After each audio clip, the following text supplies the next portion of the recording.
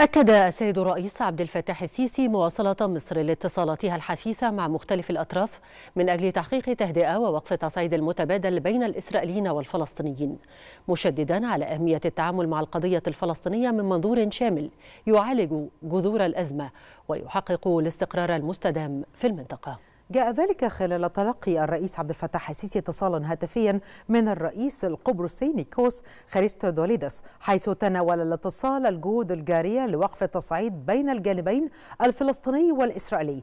كما توافق الرئيسان في هذا الصدد على أهمية تضافر جميع الجهود على المستويين الإقليمي والدولي لحث الأطراف على تغليب مسار ضبط النفس والابتعاد عن دوامة العنف لتجنيب المدنيين تبعات هذا التصعيد. أوضح المتحدث الرسمي باسم رئاسة الجمهورية أن الاتصال تطرق كذلك إلى آفاق تعزيز علاقات التعاون الوطيدة بين مصر وقبرص وكذا في إطار آلية التعاون الثلاثي مع اليونان.